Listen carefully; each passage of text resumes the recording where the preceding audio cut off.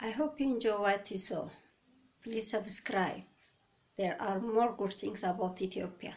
Thank you for watching. Subscribe, don't forget.